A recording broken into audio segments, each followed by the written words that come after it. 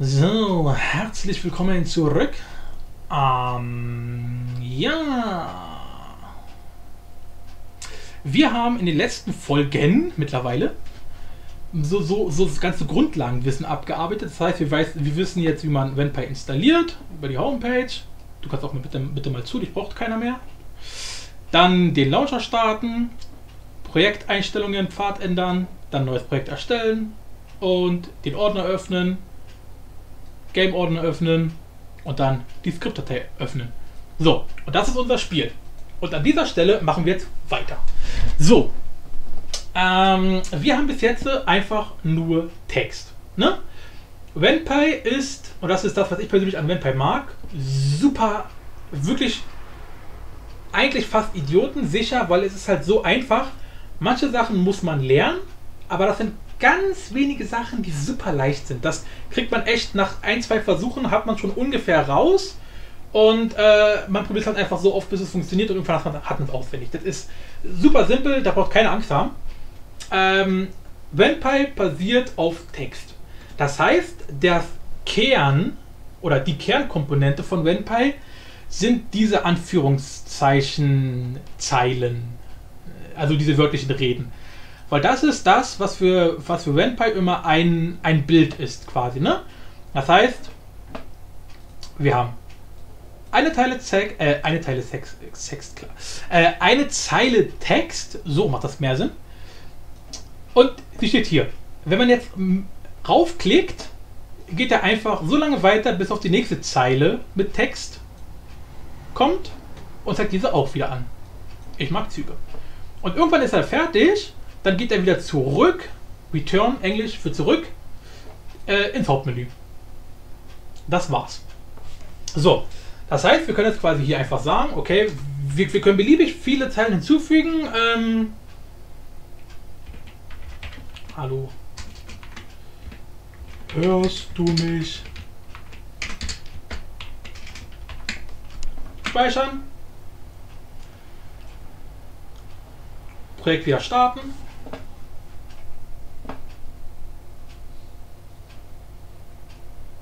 Und es geht wieder eins zu eins los. Hallo, ich mag Züge. Hallo, hörst du mich? So könnten wir es quasi endlos weiter fortführen. Äh, immer, weiter, immer weiter, immer weiter. Aber wir wollen ja ne, noch mindestens zwei Sachen haben, die sinnvoll wären. Einmal hat man ja bei meinem Projekt gesehen, stehen ja ab und zu Namen drüber. Das heißt, wenn man, ne, es ist ja meistens mehrere Charaktere, man selber als Spieler sagt was und andere Personen sagen auch was. Das heißt, man muss Personen irgendwie auseinanderhalten können. Und dafür gibt es hier diese Character. Man kann das auch anders machen, aber wir machen es jetzt einfach mit der Standardsache, so wie es uns Vampire vorgibt, mit dem Character. So. Die ganzen Klatsch hier oben brauchen wir alles nicht. Das hier brauchen wir auch nicht. Alles, was wir brauchen, ist unser Spiel und den Character. Diese Zeile hier, wichtig, die ähm, hat quasi, wenn man, wenn man noch nicht wirklich weiß, was man machen soll, dann wäre es am Anfang am besten, diese Zeile einfach zu kopieren. So, und erklären ist relativ simpel. Jeder Spieler hat einen Namen. Das heißt zum Beispiel Player. Und also das sind dann quasi wir. Und äh, zum Beispiel, keine Ahnung, äh, irgendein anderer Charakter. Freund. Und damit keiner auf dumme Gedanken kommt, Freundin. So. Und die beiden sind quasi unsere Kürzels. Das heißt, das hier ist das, wie wir heißen. Und das ist das, wie das Spiel uns erkennt. Das heißt, die Dinger müssen einmalig sein. Ja? Das heißt zum Beispiel, die, das Kürzel für Player ist einfach P und das Kürzel für Freundin ist einfach F. So, jetzt können wir mehrere Charaktere haben, die Freundin heißen. Wobei ich noch nie einen Mensch gesehen habe, der Freundin heißt, aber ist jetzt ein anderes Thema. Äh, aber sie dürfen nicht beide als F abgekürzt sein. Das heißt, das hier kann sich beliebig wiederholen. Ihr könnt ihr eigentlich reinschreiben, was ihr wollt. Aber das hier muss immer einmalig sein. Das heißt, wir müssen jetzt hier F2 nehmen. Oder G. Oder geh mal nach Hause. Oder irgendwie sowas. So. Und diese Charaktere, die können wir jetzt benutzen, um hier zu entscheiden, wer was sagt. Das heißt, die erste Zeile sagen wir, der Player, also P. Das heißt, vor diesem Text muss P, Leerzeichen und dann der eigentliche Text kommen. Das hier sagen wir auch, P, Leerzeichen, dann der Text. Und das hier sagt zum Beispiel unsere Freundin, also F, Leerzeichen, Text. Weil, ne, Freundin ist abgekürzt als F. Das hier unten nehmen wir mal wieder raus, das braucht keiner. So, F. Und wenn wir jetzt speichern und das ganze Ding mal starten, ja, perfekt. So, Projekt starten.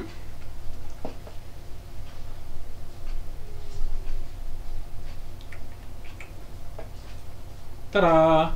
Player! Hallo, ich mag Züge. Freundin? Hallo, hörst du mich? Bam. Das heißt, ab jetzt können wir quasi hier mit mehreren Charakteren arbeiten. Ähm, wir können den Charakteren, hat bei, bei, uns schon gesehen, wir haben einfach alle jetzt die Standardfarbe, also die Farbe, die vorgegeben ist, sage ich jetzt mal. Ähm, man kann natürlich auch, so wie ich es auch gemacht habe, den andere Charaktere geben. Dazu muss man das hier benutzen. Wer sich mit dieser Schreibweise hier, das ist eine Farbe, ja? das sind keine ägyptischen Hieroglyphen, das ist eine Farbe.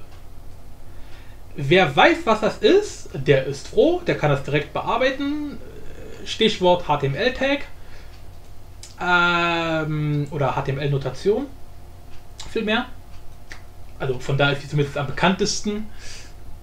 Ähm, einfach gesagt ist das eine Repräsentation von RGB.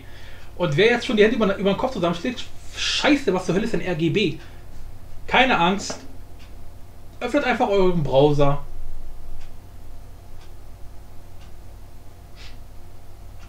Gut, beim Browser ist ein bisschen, wo ich gerade abgedatet habe. So. Äh, nutzt die Startseite eures Vertrauens, beispielsweise Google. Oh mein Gott, Ronny, du nutzt noch Google? Ja. Problem damit. Und bei Google gibt jetzt einfach ein H T M L Farbe. Und dann zum Beispiel die Farbe, die ihr haben wollt. Rot. HTML Farbe Rot. So. Und dann kommt ihr quasi. Okay, hatte nicht was funktioniert? Egal. Ähm, das hier ist das, was wir brauchen. HTML Farbcodes. Das Ding öffnen wir also einfach mal. Und jetzt sieht man hier schon, aha, das sieht ja so ähnlich aus wie das, was wir gehabt haben. Das ist genau das, was wir brauchen. Das heißt, angenommen, wir wollen jetzt zum Beispiel unsere Freundin, ne, ist ja Mädchen und Mädchen ist ja immer rot. Das heißt, wir nehmen jetzt das Ding hier. Das heißt also, wir brauchen für Freundin brauchen wir FF0000. Ne? Wie gesagt, für die, die ein bisschen mehr Ahnung haben, ist einfach Rotkanal, Grünkanal, Blaukanal. Also ist eigentlich relativ simpel. Aber wie gesagt, für die, die davon gar keine Ahnung haben, nutzen einfach Google. Man findet eigentlich alles. So, und wir als Player, ja, wollen wir grün oder blau sein? Ich nehme mal grün. Also 00FF00. So. Also halt da oben. Weil wie gesagt, Player 00FF00. Ich würde auch zur Übersichtlichkeit immer mal eine Leerteile reinklatschen, ne, damit man hier nicht so schnell durcheinander kommt. Damit es einfach ein bisschen übersichtlicher ist. So.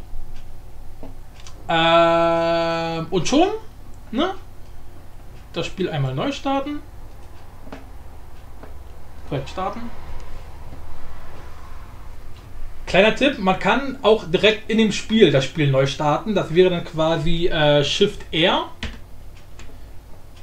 Aber ähm, für die Leute, die halt nicht wissen, was Shift ist, also was es bedeutet, obwohl eigentlich, ich, ich, sag mal so, was die Shift-Taste sollte jeder wissen. Das ist das, womit man groß schreibt. Ähm, wie gesagt, Shift R kann man das Spiel auch neu laden. So, und jetzt, aha, wir sind grün. Hallo, ich mag Züge. Und unsere Freundin ist rot. Hallo, hörst du mich? Easy. Bam. Das soweit erstmal dazu. Das heißt, wir haben immer unseren Kürzel. Diesen Kürzel benutzen wir immer, wenn wir Text schreiben, schreiben wollen. Das heißt, wir sagen Hallo. Oder aber unsere Freundin sagt Penis. Ja, bitte was? Genau. So. Und ähm, das, wie gesagt, einfach entweder aus der Datei kopieren.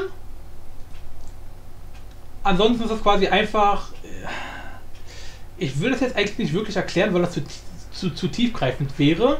Man definiert quasi äh, ein, ein Objekt, in dem Fall die Person, ne, den Character, mit den Attributen des Namens und der Farbe. Ja? Äh, Für den, die das jetzt nicht verstanden haben, wie gesagt, einfach kopieren. So. Und damit haben wir quasi das erste schon mal äh, geschafft. Wir haben jetzt Charaktere in unserem Spiel. So. Dann kommt nächste Folge, denn ne, das Ganze muss ja bunt sein. So. Aber wie gesagt, das in der nächsten Folge. Bis dann.